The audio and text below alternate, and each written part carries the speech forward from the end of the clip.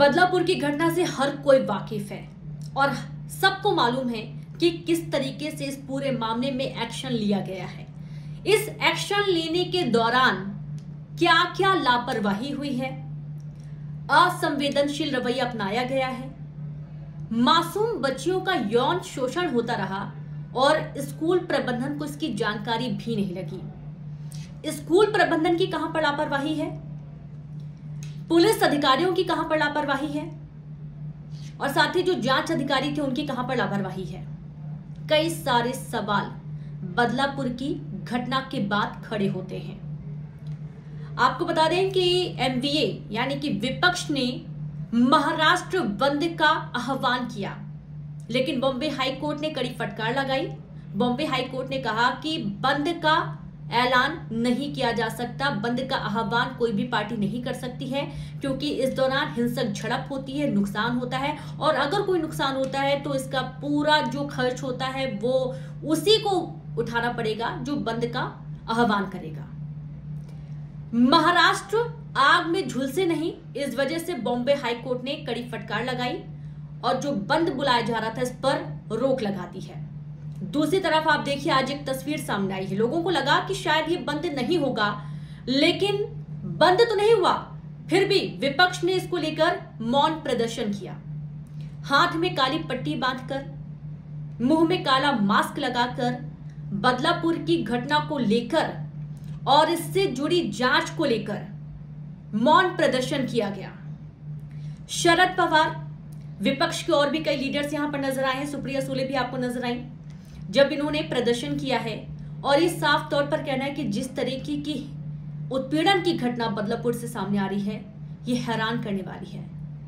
अब आपको ये हम बताने जा रहे हैं कि आखिरकार विपक्ष किन किन पॉइंट्स को लेकर इतना आग बबूला हुआ है। बदलापुर की जो घटना है, अभी हाल ही में एक कोलकाता कांड आया है, वो भी चौंकाता है।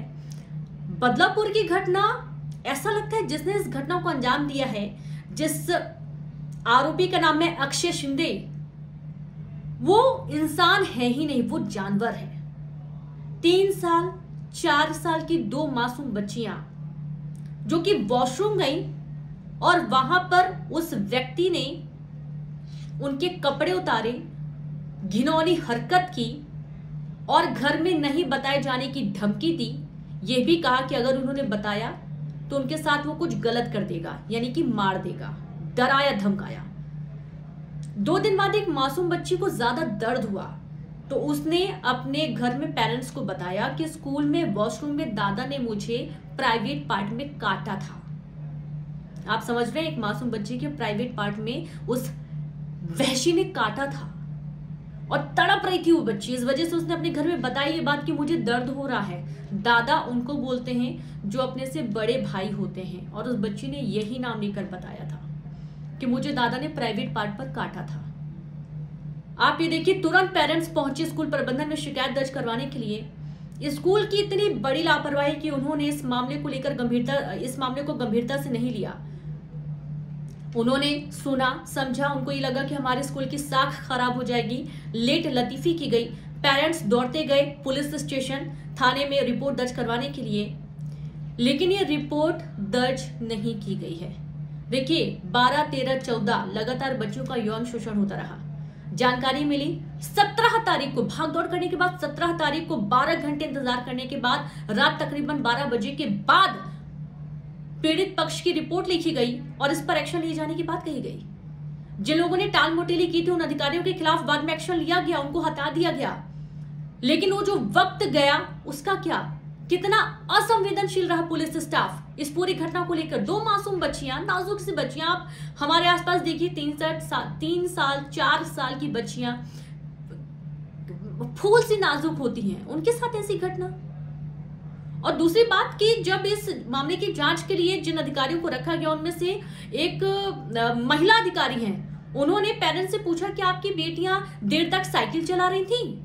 ये कोई सवाल होता है? साफ़ तौर पर पेरेंट्स बता रहे हैं कि बच्चियों के मेन प्राइवेट मेन जो प्राइवेट पार्ट है उसमें कितने जख्म हैं? पूरा खराब कर दिया मासूम बच्चियों को। और उसमें ये सवाल करना, इतना गंभीर मामला है ये और उसमें इतनी बड़ी लापरवाही। वो भी उन महिला अधिकारियों की जो सुरक्षा में तैनात की जानी चाहिए। स्कूल की कितनी बड़ी लापरवाही है। स्कूल प्रबंधन खासतौर पर जिस आरोपी ने इस घटना को अंजाम दिया अक्षय शिंदे, जिसका नाम है। पहले से उसका आपराधिक रिकॉर्ड है। उसके बावजूद उसको शौचालय साफ़ करने के लिए रखा गया। मासूम बच्चियाँ जो वॉशरूम जा रही हैं, वहाँ पर कोई भी लेडीज़ क्यों नहीं है? छोटी बच्चियों के लिए तो वैसे भी उनकी हेल्प करने के लिए वहाँ पर रखी जाती हैं, आया रखी जाती हैं, जो बच्चियों की टेक केयर करती हैं, उन्हें कपड़े उतारती हैं, पहनाती हैं। वो कहाँ थी उस वक्त? बच्चियाँ खुद जानी थी वॉशरूम।